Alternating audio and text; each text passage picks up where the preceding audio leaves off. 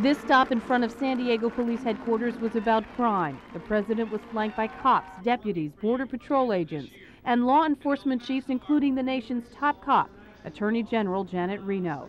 He praised San Diego's community policing system, a model on cooperative government. And I am very proud of what they've done. They've put aside politics and put the people of this community first, their safety first, their future first. But this speech about policing was a political speech. And moments before it started, Reno handed out a report on fighting crime at the border. The president used it to pitch a few campaign broadsides. For a lot of years, people in public life at election time talked tough about immigration, but didn't do much about it. We tried to change that.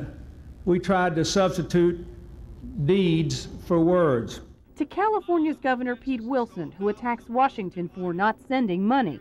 I have done what I could to get more money into California in very difficult fiscal circumstances in Washington to help you deal with the cost of illegal immigration more than ever before. To the city of San Diego, where the traffic of illegal immigration has only moved east.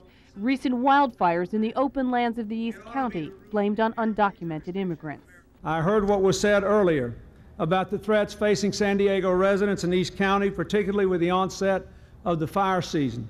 Today, I have asked the Secretary of Agriculture, Dan Glickman, to send 20 more law enforcement officers to Cleveland National Forest, and they'll be there by the close of business today.